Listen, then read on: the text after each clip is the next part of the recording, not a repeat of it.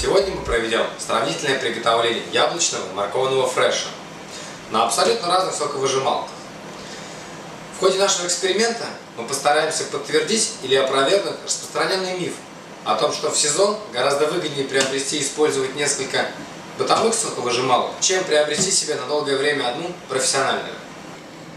Первым приготовим яблочный фреш. Для чистоты эксперимента отвесим для каждой машины по полтора килограмма. Отлично. Для нашего эксперимента мы взяли совершенно разные соковыжималки. Вариант номер один. Соковыжималка фирмы Borg. Предоставлена одним из руководителей компании. И он ей, кстати, очень доволен. Вариант номер два. А, бытовая соковыжималка, купленная в ближайшем магазине фирмы Premont. Вариант номер три. Профессиональная соковыжималка компании Robot и ее старший брат для больших объемов. Приступим к приготовлению сока.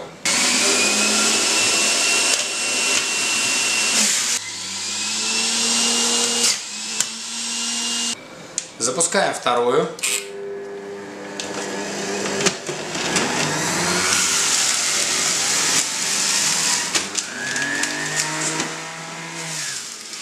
Запускаем третий вариант, робот коп.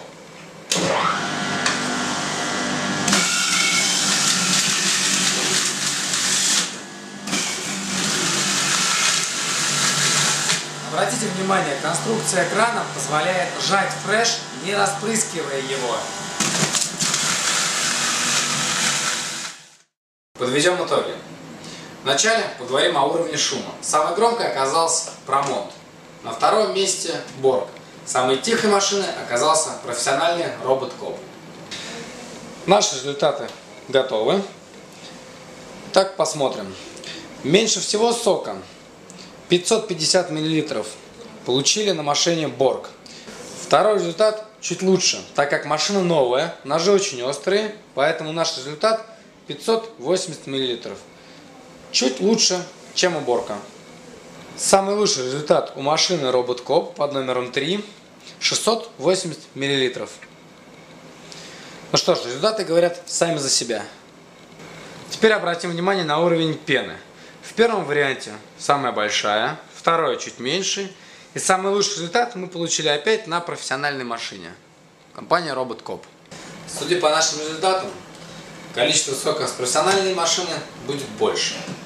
Также стоит отметить, что количество и качество сока на бытовых машинах изменяется в зависимости от срока использования этой машины. А теперь перейдем к приготовлению морковного фреша. Но перед этим поменяем нож в машине Borg.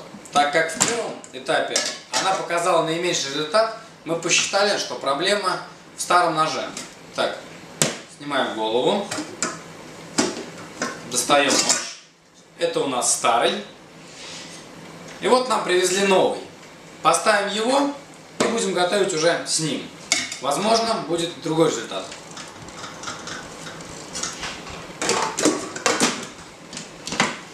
Так, машинка готова к работе это будет честный тест. Для чистоты эксперимента мы взвесим по одному килограмму моркови.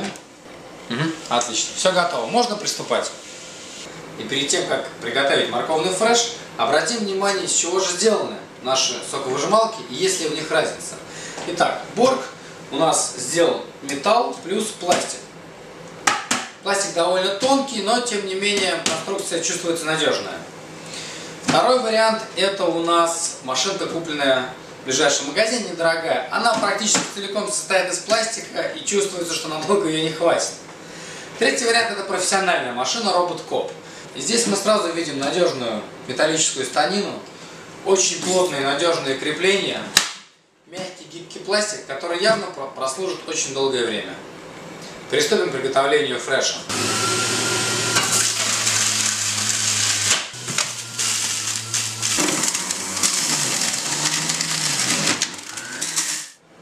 Хочу обратить ваше внимание еще на одну немаловажную вещь.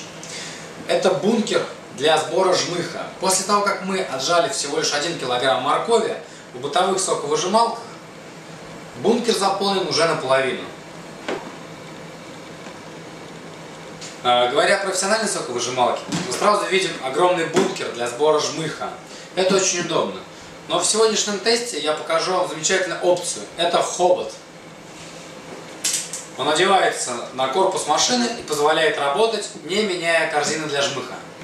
Для этого разворачиваем машину и устанавливаем ее таким образом, чтобы сброс производился в урну. Теперь присоединяем хобот. Машина готова к работе. Приступаем.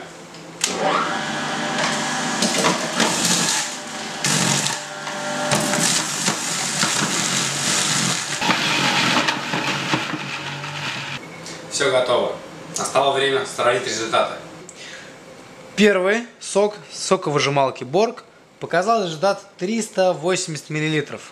Замена ножей не спасла. Второй вариант у нас с машинки Redmond. Опять средний результат. Это 480 мл.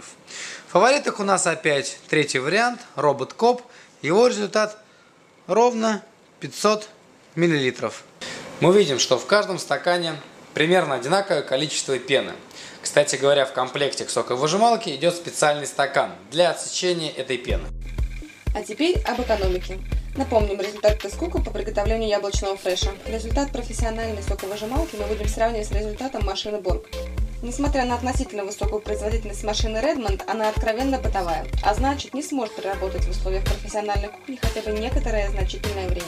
Машина Borg без сомнений надежнее. По результатам опроса нескольких знакомых рестораторов их хватает примерно на год интенсивного использования. Лучший результат показала соковыжималка Robot Cope. Из 1500 граммов яблок мы получили 680 мл сока. При помощи элементарной пропорции высчитаем, что для получения 1 литра сока нам понадобится 2200 грамм яблок. Экономия по сравнению с результатом Борг составила 130 мл сока или 286 грамм яблок. Если учесть, что среднее заведение продает в день 10 литров сока, 365 дней в году, то получится, что робот Колк экономит нам 1043 килограмма яблок. Чтобы получить эту цифру, мы умножили 286 грамм на 10 литров в день, а затем на 365 дней. Итого экономия за год составила около 104 390 рублей. Первоначально задача тест-кука было подтверждение или опровержение мифа о том, что выгоднее купить и использовать бытовую соковыжималку, чем профессиональную. Экономия более 100 тысяч рублей в год в среднем позволит не только оправдать разницу стоимости, но и получить прибыль. В заключение отметим, что размер экономии зависит от множества факторов, которые следует учитывать в каждом конкретном случае самостоятельно. Мы же отвечаем только за корректность проведения результатов теста по производительности соковыжималок.